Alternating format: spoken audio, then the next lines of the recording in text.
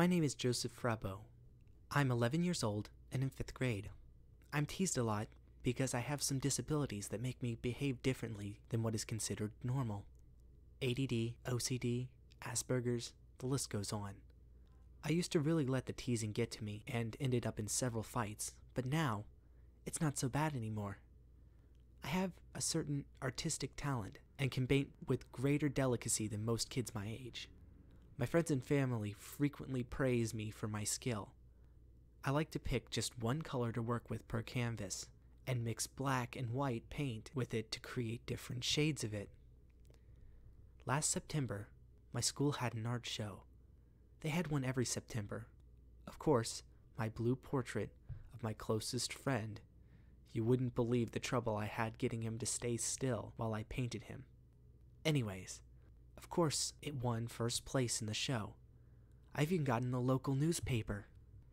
At the show, there was a very strange looking man wearing sunglasses.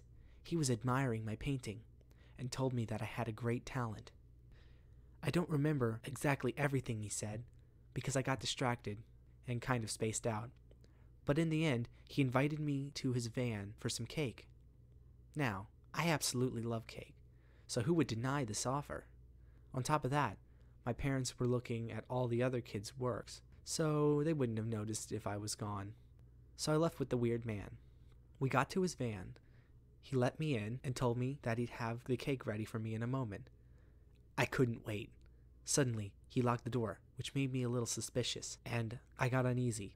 Suddenly, when he seemed to be reaching for me, I broke down in tears. No, he screamed. I can't, not again. He cried for some time. I was getting more and more weirded out.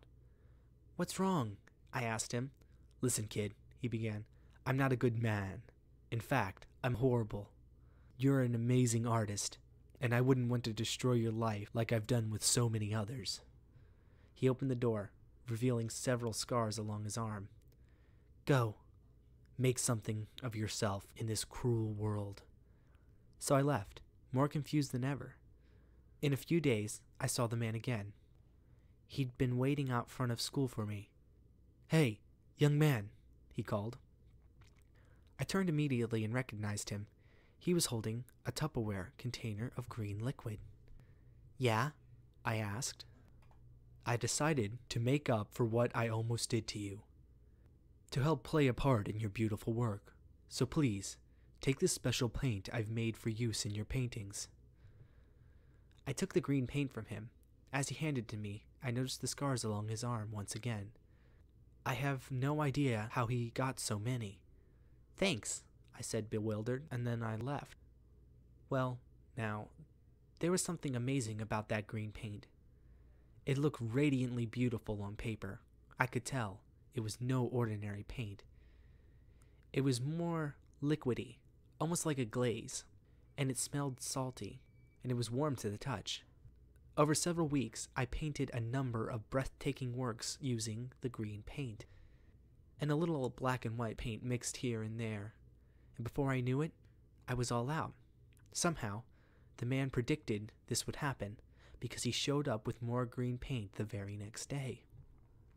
For the next several weeks, the man provided with more and more green paint, and I continued to make beautiful works until one day. A week short of the next art show, he told me he was leaving and he wouldn't be coming back. Where are you going? I asked sadly, as I've grown attached to him. Well, let's just say it's nowhere you've been, but you will go there someday. I hope to see you then, he said. Here, take the last container of special paint, he continued, handing the familiar green liquid. I'd give you more, but I'm just too weak. Indeed, the man looked very pale. He'd been looking paler and paler lately every time I saw him. His outstretched hand shook mine, and I shook his back. Goodbye, my friend. I'll see you again some day. I hope, he said. And that was that. He drove off in his van for good. Well, I worked hard on this painting, harder than I've ever worked before, and it took a whole week up until the show to complete it. It was a portrait of that man's face on a large 5 by 5 canvas painting, painted with special green paint, of course. I made sure to get every last detail of his face, or at least what I remembered of it. He looked wonderful in green. I took the portrait to the art show and watched the students and parents all look in awe. The Princeton Times. A young colorblind boy paints a stunning red portrait of an unknown man.